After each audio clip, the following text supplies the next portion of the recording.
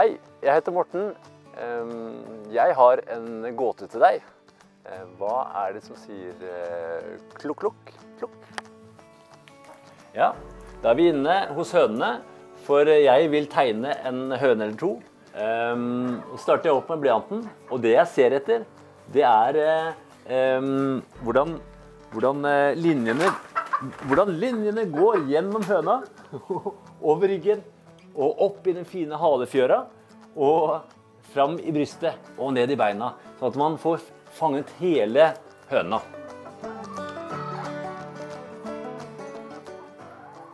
Og jeg begynner med brystet og hodet og kammen og den fine nakken ned, og også de flotte halefjøra.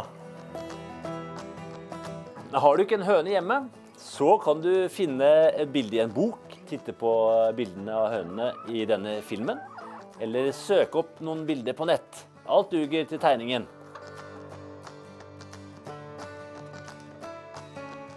Og så lager jeg mange tegninger, og, eh, og tegner ganske raskt. Og så, når jeg tegner, så er det ikke så viktig om, om noen av strekene blir litt skeive og rare, men eh, så tegner jeg bare en ny strek.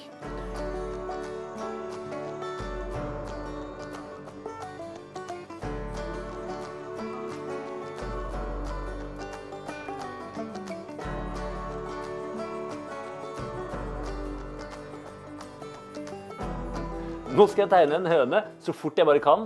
Da bruker jeg pensel og en tynn eh, malingsblanding. Og får en herlig, fin strek. Jeg begynner med halen, Stjerten. opp i nakken. Nå er det ikke det eh, verdens viktigste om, om, det, om det ligner ikke, men nå gjelder det bare å, å, å lage en tegning, og det blir din tegning som gjelder her.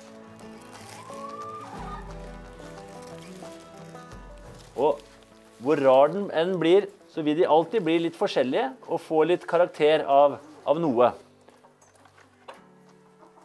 Her er noen av mine tegninger.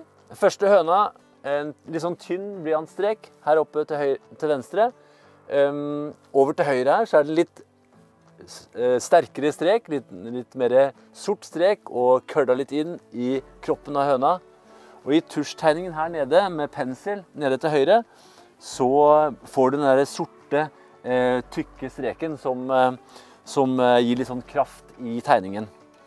Til slutt en litt, sånn, litt mer elegant høne som tripper av gårde. Nå skal du få se noen bilder som er gjort av andre kunstnere, både høner og haner.